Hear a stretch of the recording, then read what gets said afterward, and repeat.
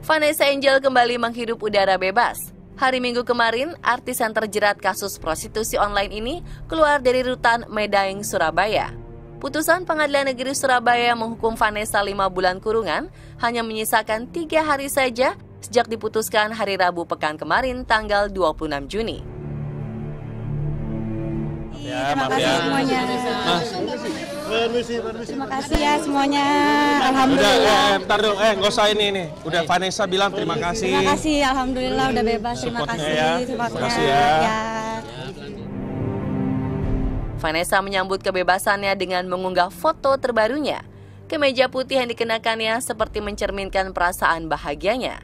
Artis kelahiran Jakarta berusia 27 tahun ini juga mengabarkan kebebasannya dengan video callan. Ekspresi kebahagiaan ditunjukkan oleh salah seorang sahabatnya yang memberikan hadiah puluhan juta rupiah. Seperti terlihat di salah satu akun Instagram, Vanessa menerima hadiah handphone terbaru.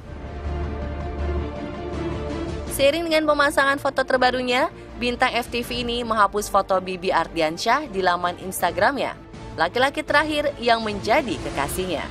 Seperti ingin menebus kerinduan pada dunia luar, Vanessa terus mengupdate aktivitas dirinya di media sosial, termasuk selama perjalanannya dari rutan menuju hotel.